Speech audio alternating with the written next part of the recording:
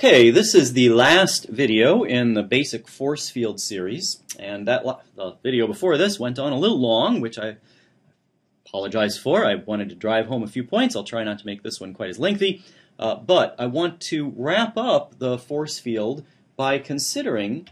Uh, so we ended last time with this consideration of how strain is added to hypothetical zero values corresponding to all unstrained atom types. And I emphasized that if you did want to compare isomers having different atom types, you'd have to have some way of ranking those unstrained collections one relative to another. And I talked about Benson group equivalence as one way to do that. But now I'm actually going to make life uh, still a little more complicated and talk about situations where you might not uh, always be increasing energy relative to unstrained atom types. You might actually sometimes be decreasing energy. And uh, this can happen if we now consider interactions between non-bonded atoms. And what I mean by non-bonded in this case is not interacting through either a bond stretch, an angle bend, or a torsional coordinate. So an example of such an interaction could be a nonpolar interaction, and so let's think about that. Let's say we have two atomic types, and they are not defined to be bonded one to another, and so the force field will not compute any kind of bond stretching coordinate. And were those two atoms to be represented as hard spheres, then the energy as a function of distance between them, so this is our generic pair of atoms A and B, would be zero. It's just not something that's being computed as they get closer and closer and closer. And then at a certain distance, they kiss. One surface touches the other. And being hard spheres, the energy goes up to be infinity. So uh, that works quite well on a pool table, but is not particularly realistic from a chemistry standpoint. And instead, what we know happens in chemistry is that as the two atoms come closer and closer to one another, there is a weak attractive force between them. So a physical chemist would call that dispersion. Uh, organic chemists sometimes talk about attractive van der Waals interactions. And you'll recall that the, the quantum mechanical reason for this interaction is induced dipole induced dipole interactions, uh, which will uh, always be stabilizing, and it's a quantum mechanical phenomenon associated with electron-electron correlation. In addition, as they continue to get closer and closer together, they do eventually begin to interpenetrate their electron shells and because of that interpenetration, you get something called exchange repulsion, as well as electrostatic repulsion, and that will cause the energy to go up, up, up. So it won't go up quite as steeply as infinitely sharply, but it does go up quite steeply. And so this sort of magenta curve is a more accurate representation of what happens in chemistry. And the way in which this is represented in many force fields is to use a so-called Lennard-Jones potential. And for those who've heard this term uh, and wondered if Lennard worked with Jones, let me just point out this is a single last name. There was a single Professor Lennard-Jones, who was an English faculty member. That looks a you know, hyphenated last name, very English, very posh. And the form of the curve is as follows. The energy of interaction 4 times epsilon, and epsilon is some constant associated with A and B, and it's chosen to be the negative of the energy uh, value associated with the equilibrium distance. Sigma AB over RAB minus sigma AB over RAB uh, appears in this term. Here's a, a term that has a positive value so sigma is a positive constant associated with the two atoms A and B raised to the 12th power minus sigma over RAB to the 6th power. And so what you'll see is, uh, let's consider the various possibilities here. If R gets very, very large, then I will be dividing some number by a really big number, so I'll have a tiny little number. If I take a tiny little number to the 12th power, it goes to 0 much faster than a tiny little number going to the 6th power. So this term will survive compared to this one, and it's negative, so I'll be below the asymptote of 0. On the other hand, as sigma passes to be a number that, sorry, as r passes to become a very small number, I'll take sigma divided by something smaller than itself. Now I've got a number bigger than 1, and a number bigger than 1 to the 6th power is less than a number bigger than 1 to the 12th power. So now this term will begin to dominate, and so you see you pass through 0 at the point where RAB is equal to sigma AB, right? Then I'd have 1 to the 12th minus 1 to the 6th, so that's 0. So now you can sort of see how all these constants relate to the shape of the curve. So you pick the sigma value based on where the attraction is exactly canceled by the repulsion, and you pick epsilon uh, based on the bottom of the well. And I've got a little asterisk here on r this is not a constant here, this is actually the variable. You're looking at the distance between A and B and you're plugging it into this equation, but you can determine what R star must be simply by solving for the minimum of this potential energy. And so if you do that, I'll leave the calculus to you. Uh, if you take the first derivative of this with respect to r, you ought to be able to set that equal to 0 and solve for the equilibrium point. You'll get RAB star is equal to 2 to the 1 6th power times sigma AB. And so I encourage you to give that a try if you've got some pencil and paper in front of you, uh, but I'll let you do that offline. Now, there's another kind of interaction between non-bonded atoms, which is not nonpolar, but is in fact polar. That is, you could have an electrostatic interaction. And so if I have two atoms that carry charge, and maybe they're fully charged because they're really ions, but even if they're not, we certainly think of atoms uh, as carrying partial charges because that when they bond to one another with different electronegativities, there's some transfer of charge from less electronegative atoms to more electronegative atoms. And of course, any two atoms that have a like charge will repel one another, and so zero is what happens at infinite distance, because Coulomb's law is that the energy is equal to product of the charges divided by distance, so if distance is infinity, there's no interaction. And as I bring things closer and closer together, if they're the same charge, the energy will go up, and if they're opposite charge, the energy will go down. And the potential says that they go up or down as 1 over r. These are the charges on the atoms, and epsilon is the dielectric constant of the medium. And that, for a force field, that is something you have to pick. You determine what dielectric constant you might like to use. Now, you might expect, well, you ought to use one, right? That's the dielectric of a vacuum, and we're thinking of an isolated molecule. However, that might not be your best choice because with a value of 1, you will have sort of the strongest possible electrostatic interactions. And you will be very sensitive to the charges that you put on your atoms. You might find it more convenient to have an epsilon value somewhat larger than 1, and many force fields do, and moreover, you may be imagining a medium in which molecules are existing or interacting that is a condensed phase, perhaps with its own dielectric constant, and there might be virtue in using that higher dielectric constant. This is just something that would have to be uh, played with during parameterization. We will certainly talk about so-called continuum solvent models much later in the course, but for now, let's just emphasize that epsilon is typically a parameter in a force field, not necessarily a physical constant. And so what you see is in terms of new parameters in the force field, we've introduced by atom type Q. So what is the partial charge, say, of an oxygen atom in a ketone? So if I have an atom type sp2 oxygen, I will need to assign a uh, partial charge to it if I want to compute this term in my force field. And I've already made this point to you. The dielectric constant uh, is a atomic pair parameter. It's not usually taken as one. Some force fields used to, in fact, take it as dependent on the distance. That's relatively rare now, but uh, it certainly has been explored.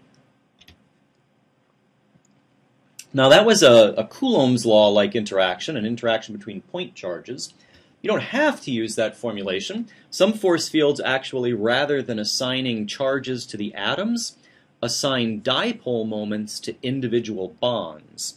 And so if you look up uh, in your favorite physics textbook, what is the energy of interaction between two dipoles, here's the correct form for a dipole-dipole interaction. So the dipole associated with bond AB interacting with the dipole associated with bond CD. And so it depends on the distance between the midpoints of those dipoles. So that's this R, A, B, C, D that appears here to the third power in the denominator. the product of the magnitudes of the dipoles. So each bond has a dipole. Here's the AB dipole. Here's CD. And then because they're vectors, even though you know the distance between them, you need to specify some additional things. And in particular, you need to specify the cosine of uh, an angle between them, and it is the angle of the uh, that's shown here, this angle chi, and also a term depending on the cosine of how the vectors are rotated relative to the uh, line that joins their two uh, midpoints. So I, I, don't want to dwell too much on what's sort of a, a freshman physics problem, but in any case, this is the well-defined energy of interaction between two dipoles. And you could certainly compute this as part of your force field if you chose to use this expression. Another non-bonded potential, not, not necessarily relevant to this picture, but I'll just mention it as we're wrapping up talking about non-bonded interactions. Some force fields recognize hydrogen bonding as a unique additional term. So that is a hydrogen attached to an electronegative element interacting with a electronegative element, a Lewis base, if you will. And one form for that might be instead of a Lennard-Jones potential, which is a sometimes called a 612 potential, uh, some force fields will use a 1012 potential. So it's attractive to the 10th power and repulsive to the 12th power. And again, you'd have some new parameters. You'd have to pick this A prime and B prime values that you would parameterize on experimental data, presumably. So the dipole-dipole potential, the parameters that would come in would be the magnitudes of the dipoles for individual bonds, and possibly the dielectric constant that you choose to use. And then I'm, going to mention one thing just as a, a, brief bit of historical context. Let me go back a slide here. Uh, two slides, I guess. So I like to bring a little history into the lectures uh, just to give you a feel for how computational chemistry was born.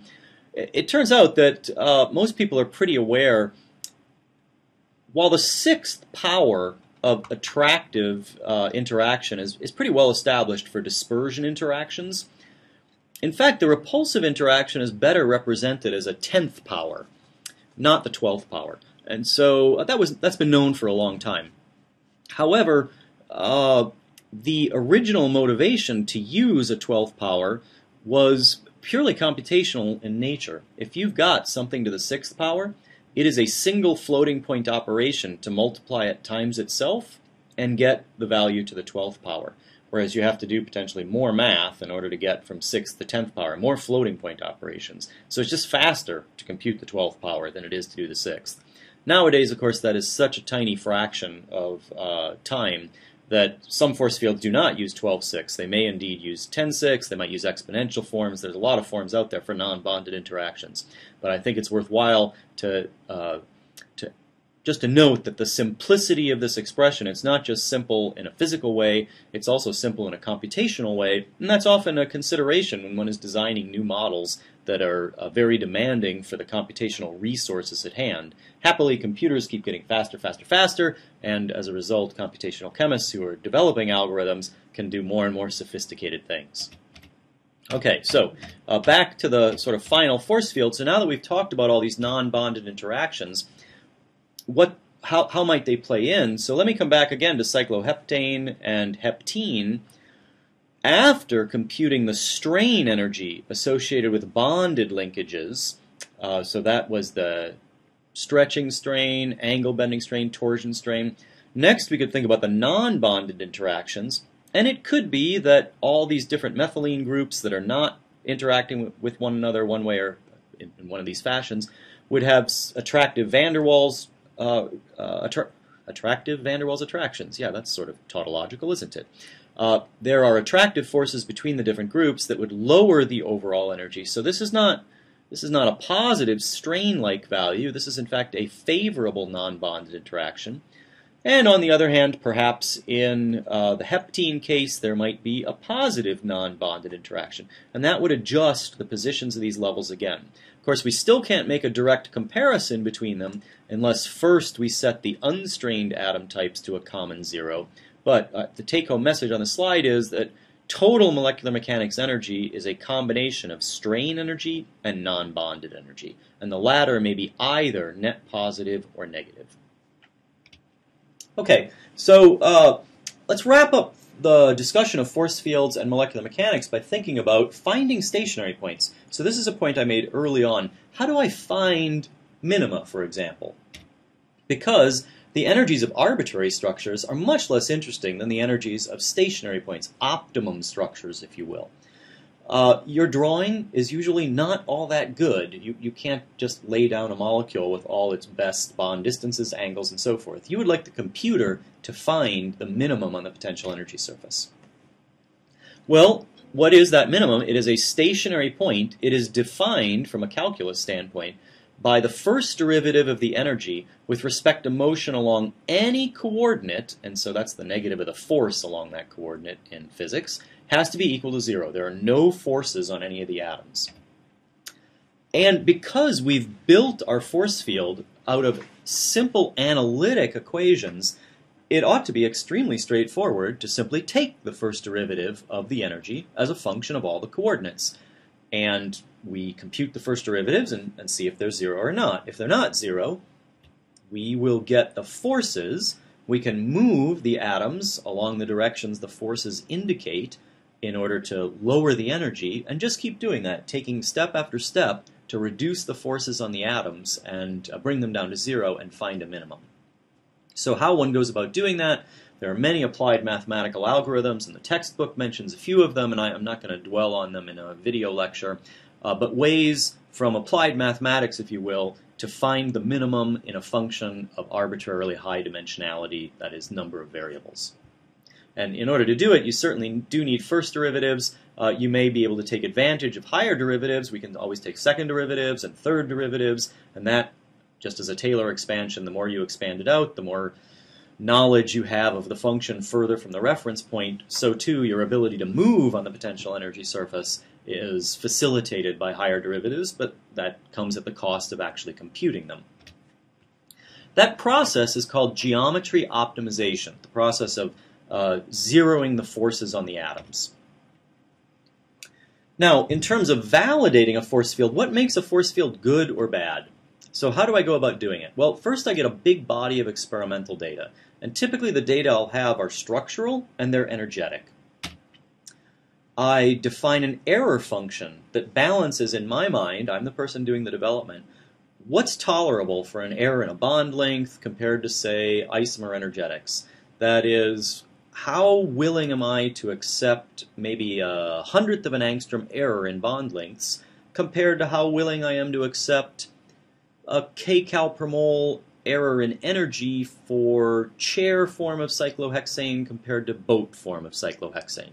So there's two forms of cyclohexane that are presumably the same atom types, and I can directly compare their energies.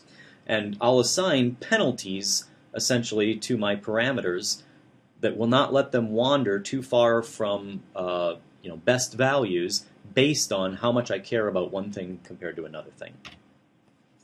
And now I'll vary all my parameters, and maybe I'll vary the functional forms that I'm using for bond stretching, for angle bending, whatever, in order to minimize my error function. So the error function is, you know, the the numerical expression of how much I care about, say, bond lengths compared to bond angles, compared to torsion angles, compared to isomer energetics, etc. When I am satisfied, when I have tried all the different variations I might imagine, I start from different starting sets of parameters and move them around. Hopefully they all end up in a similar space. When I feel like I have a physical set of parameters and functional forms for my validation data, I lock them all into that stone tablet I keep mentioning, chisel them down, put a name at the top of the tablet. Maybe it's MM3. That was that's an existing force field, an organic force field. Give it to the whole world, publish it, become famous. And here's an important thing with five exclamation points: try to keep it stable. One of the one of the most annoying things in computational chemistry is that occasionally someone will make changes to a model, maybe it's a force field model, and fail to note in the name or in the distribution or in the code in which that model is employed that those changes have been made. And so you go and do a calculation with one code and you get a certain answer. And you go and do what you think is the exact same calculation in a different code and you get a different answer. And now you don't know which one is right. Maybe neither is right. Maybe they've both been changed relative to an original. But that defeats reproducibility, which is a grave scientific sin.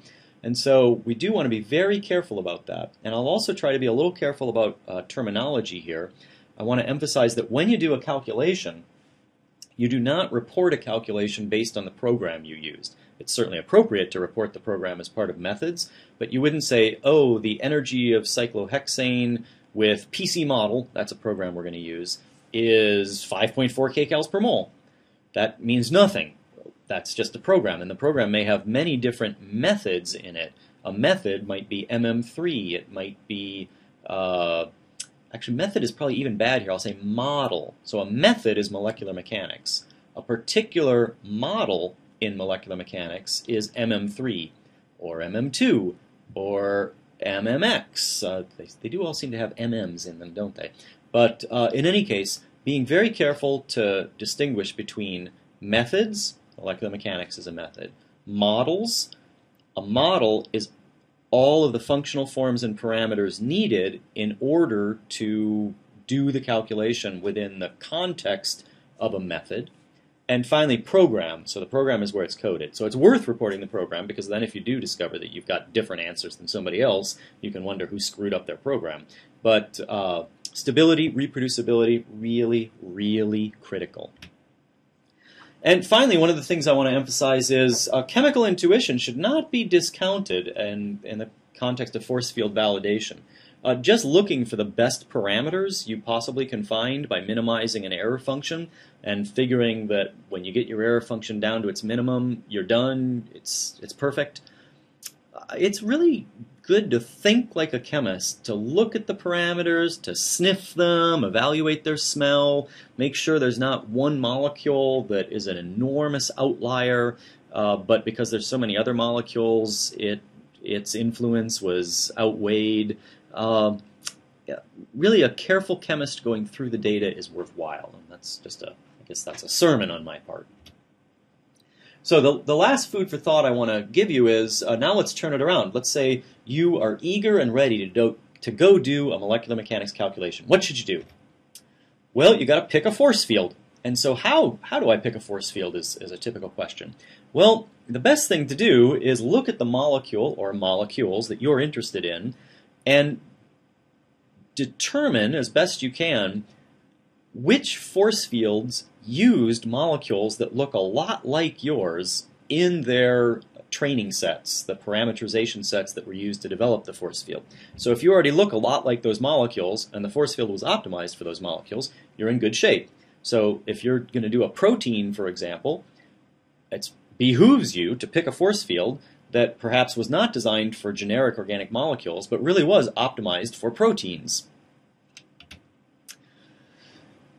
And bearing in mind uh, the simple force fields, the harmonic force fields, necessarily do better near minima than they do far away from minima because the parabolas stop looking very reasonable as you get far away from minima. So if you have really highly strained molecules, you might imagine you'd like more sophisticated force fields. Keep in mind that once you define a bond, it cannot be broken in a harmonic force field, and neither can you form a new one. And so force fields are bad for reactions in general. There are such things as reactive force fields, and we may have a chance to chat about that at some point, but usually uh, the bond is what the bond is. So they're good for structures, and they're good for energies that are near equilibrium points. If you start with a bad guess structure, there is no guarantee the minimum that your uh, that your program will take you into using its own geometry optimization criteria is a meaningful one. That is, you may have just made a mistake in drawing, essentially. You might have inverted a carbon atom. So you've got all four things on an sp3 carbon on one side of that carbon. Well, it turns out that the functional forms used in most force fields consider it uphill to try to move one of those substituents over to its proper position tetrahedrally. So instead, you'll minimize to a weird square pyramidal methane. Of course, it's thousands of kcals higher in energy than the tetrahedral one, but it is a minimum on the potential energy surface given those functional forms. So again, uh, chemist's intuition and evaluating the structures that you get out from a program, really quite critical. Uh, try to be sure you're starting from something rational. And of course, uh, should any of these prove problematic for you, you can always develop a new force field, and uh, we may again have a chance to chat a bit about what's going on in, in modern force field development. So I want to finish by giving you a sort of an example of where is molecular mechanics modeling potentially very useful. And so here is a, a plot, and you see sucrose actually. So sucrose is common table sugar. And the structure for sucrose is shown here in the upper right. So sucrose is a, a glucose and a ribose uh, fragment bonded together at this adjoining oxygen atom. And you can define the geometry, at least part of the geometry of sucrose, as a rotation about this CO bond and a rotation about this CO bond, phi and psi.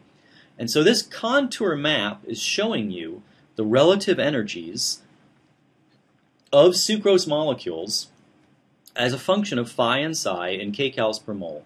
And so you see the contour intervals are labeled here 1, 2, 4, 6, 8, 10, 15, 20. These are kcals per mole. And so up here, apparently we're on some very high plateau, very, very high energy. You don't even show the contour lines anymore. It gets ugly. But there's a low energy region right here. This is where the somewhere in here is the zero, presumably. And then there's a little valley here that drip, dips a little below 6, and it looks like there's another little valley somewhere in here.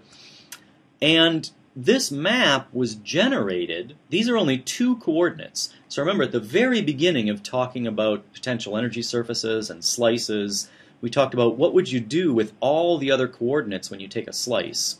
So this map was generated by considering all possible orientations of hydroxyl groups and hydroxymethyl groups using molecular mechanics. And so if you think about how you might go about, and, and the lowest energy point was used, so the relaxed rotation, if you will, was used to put a point down on this surface, and then finally all the points were contoured up. So if you think about a hydroxyl group and ask where would the minima be expected to be, well, probably you're going to need to survey three possible orientations, right? You could survey under the ring, that would be gauche between these two substituents. You could survey pointing out this way, that would be gauche between the CC bond and this CH. Or you could be pointing back that way, gauche between this CC bond and this CH. So that's three possible rotamers for this group. And there are one, two, three, four, the CC bond, five, six, the CC bond, seven, eight, nine, ten, 11, the CC bond. There are 11 bonds, every one of which can have any of three different torsions. So there are 3 to the 11th energies uh, that are possible here. And I'm not sure why I'm cutting off my last point here, but it says per point on the, uh, on the surface. So that's, that's a lot of calculations, 3 to the 11th. I'll let you plug that into your calculator that maybe you carry in your back pocket or in your uh, smartphone. But lots and lots and lots of calculations. Not easy to do with quantum mechanics. You want a super fast method to generate that. And when you're all done by and you survey all those possibilities, you can create this contour map. So the next question is, okay, it's pretty, but how good is it? So you might have been wondering, what are those black triangles? So the black triangles come from crystal structures of sucrose bound into proteins uh, proteins that bind it and don't necessarily react with it, so you can still see the sucrose. And they represent the phi psi values that are found in those crystal structures. So presumably, biology is designed to recognize sucrose not at a very high energy conformation, because that would be a bit silly, instead to recognize it as it's floating around in your body because you want to do something with it, sequester it, carry it somewhere else. And what one finds is that indeed most of these triangles fall in a pretty tight shot pattern. It, uh, it turns out this one that's at very high energy is actually a sulfonated sucrose, and it's probably interacting with a so a sulfonate is a negative group in in aqueous solution, and it's interacting with a positive lysine cation in the protein. But most of these fall in a pretty tight shot pattern near this minimum. Not quite in it, but close, so all within about mm, 5 kcals per mole. Interestingly, there is one crystal structure that's got a sucrose with a substantially more negative psi value, even though it's got about the right phi value. And the molecular mechanics does predict that there's kind of a shallow shelf here that is not too high in energy. So this uh, suggests that the force field is doing a pretty decent job because it's predicting minimum energy uh, regions of the potential energy surface where experiment is indeed generating a lot of structures. And if you uh, would like to have a little foreshadowing for later in the course, turns out what's missing in the force field is something called the anomeric effect, a, a very favorite stereoelectronic effect of organic chemists. It has to do with hyperconjugation that stabilizes certain torsions about an OC-OC linkage. So that's what Phi and psi are, right? They're OC-OC torsions. So when a lone pair on oxygen is anti-periplanar to a carbon-oxygen bond, there is a favorable hyperconjugation as that lone pair delocalizes into the acceptor sigma star orbital with which it has very good overlap. And that lowers the energy. So unless you have that term explicitly included in your force field, you of course won't pick that up uh, hybrid quantum mechanics, molecular mechanics calculations, which we will talk about later in the course, actually illustrated that and moved this contour up so that it really encompasses these. So that's a, a feature of sort of physics, if you will. If you don't have the physics in your force field, that's an error that you're going to introduce. Okay, well, we have had a, a lot of lecture on molecular mechanics. Uh, I'm going to finish with a, a little quiz question for you to think about before we discuss this in class and that is to what substance does one typically add sucrose? And sure enough, uh, now is your chance to go and relax and have a cup of coffee or tea or hot chocolate or, you know, you tell me what your favorite libation is and uh, you're welcome to it. But we will uh, discuss the force field in, in more depth in class and look at a few practical exercises, and I look forward to seeing you then.